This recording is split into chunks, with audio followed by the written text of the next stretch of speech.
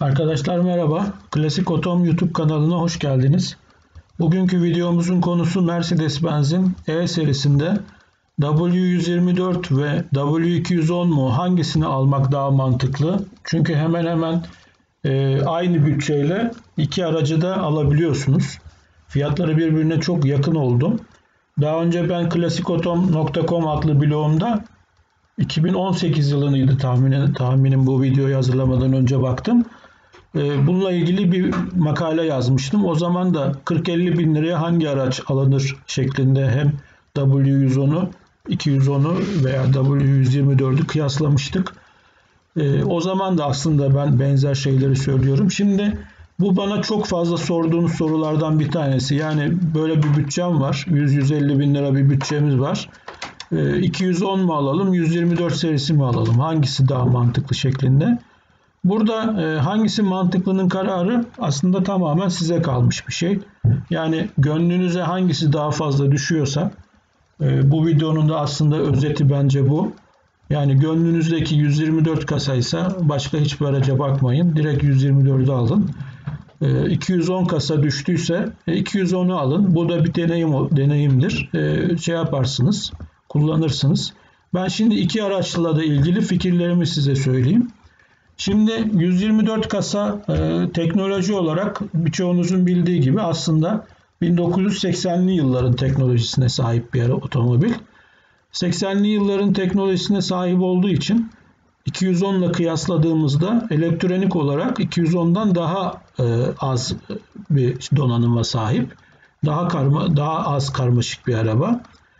210'un baktığımızda ise 210 tabii ki 90'lı yılların teknolojisi olduğu için tabii ki 124 kasaya göre biraz daha elektroniği fazla bir otomobil. Bu bunu niye altını çiziyorum? Aracın yüksek kilometrelere çıktığında maliyet olarak baktığımızda, işletme maliyeti olarak baktığımızda işte efendim işte arıza lambası yandı, şu lamba yandı, bu lamba yandı gibi böyle canınızı sıkacak bazı şeylerle karşılaşabilirsiniz. Bunlar aslında çok büyük sorunlar olmamakla beraber kullanıcıyı yoran şeylerdir.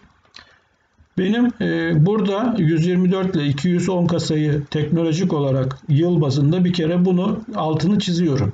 İkinci olarak baktığınızda ikisi arasında bir seçim yap yaparken benim size en büyük önerim şu. 124 kasa bir araç alacaksanız e, bunun e, motor ve teknolojik yani mekanik aksamında daha az sorun istiyorsanız bu her, her otomobil için genel bir kuraldır. Son yıllarda üretilmiş araçlar tabii ki daha avantajdır. Niye? Çünkü 1,5 milyon 2 milyon adet üretilmiş araçlarda hem Mercedes bu aracı sürekli yaptığından dolayı servisten gelen e, geri dönüşlerden araç düzeltiliyor ve e, daha mükemmel hale geliyor. Yani siz 1984 e, yılında üretilmiş ilk kasa bir aracı aldığınızdaki aracın mekaniğinin oturmuşluğuyla 1994 model bir 124 kasayı aldığınızda aynı aracı aslında e, almış olmuyorsunuz. Daha e, son üretilen araçlar mekanik olarak çok daha oturmuş, e, eksikleri giderilmiş araçlar oluyor. Yani bu otomobilde bütün modeller için geçerli olan bir kuraldır. 210 serisinde de alacaksanız yani 96 model ilk çıkan bir E200 de 210 serisinde 2001 senesindeki en mükemmel haline gelmiş otomobil hiçbir zaman için aynı olamaz.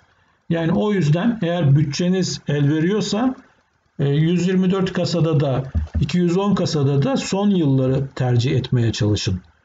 E, benim size e, nacizane en büyük tavsiyelerimden bir tanesi de budur.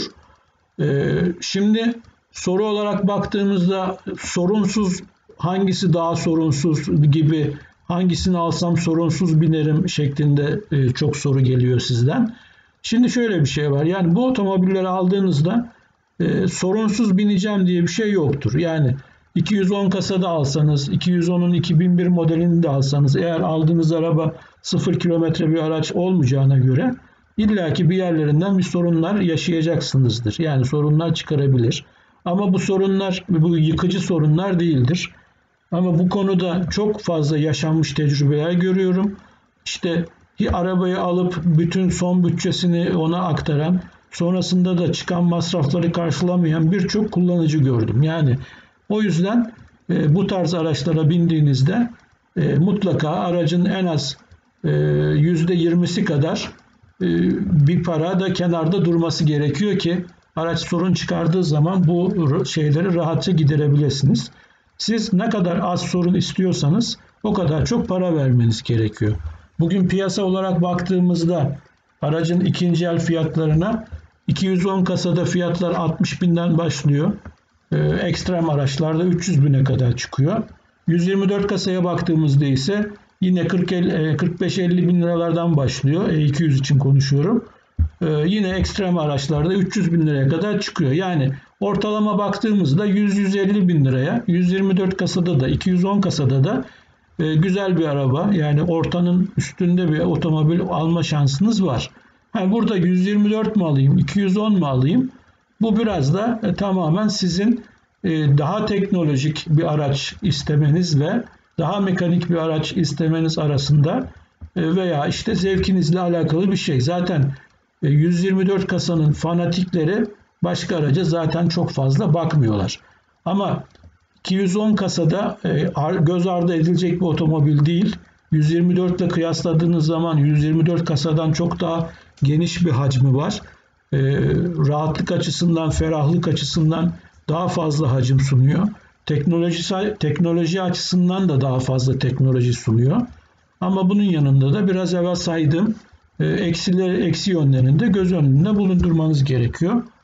Bunun dışında aracın uzun vadede yani ben aracı alayım ama işte çoluk çocuğuma kalsın, torunuma kalsın şeklinde bakıyorsanız benim fikrim 124 kasa klasik olma yönünde biraz daha avantajlı bir otomobil. Yani eğer işin yönü yani bu yönde bir bakış açınız varsa 210 kasayla 124'ü kıyasladığımızda 124 kasa bundan 10 yıl sonra 20 yıl sonra veya işte çocuğunuza kaldığında 210 e, kasadan bence çok daha kıymetli bir araba olacak.